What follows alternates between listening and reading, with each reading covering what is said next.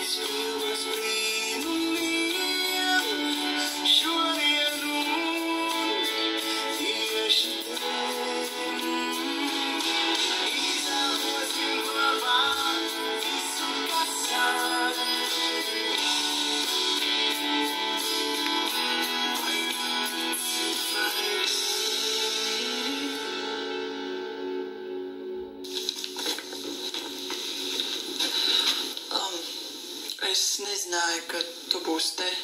Nu, Es varu aiziet. Nē, nē, nav vajadzības. Mūsu pēdējā tikšanās reizē es biju diezgan skarba. Nu, nekas. Ne, tu nesaproti. Nē, nu, kas tur ko nesaprast. Es guļu ar tevi. Tas nozīmē, ka tev ir tiesības pieprasīt, lai es pametu savu sievu. Tu, tu zini, ka es esmu šķīrusies. Jā, protams. Tu zini arī kāpēc? Nē, Vīrs mani krāpa. un tā gadās. Nē, Viņš divus gadus dzīvoja dubultu dzīvi ar mani un vēl vienu sievieti. Es jau saprotu, jā. Ne, tu nesaproti.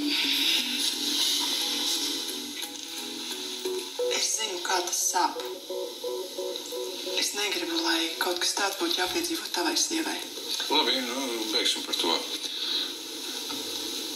Es saku, tajā reizē, kad, nu, kad tev iesit pa galvu, tu sēdēji tieši šeit, jā? Jā, Nu, iesēdies tā, kā tu sēdi. nu, Nu, tagad pamēģini atcerēties.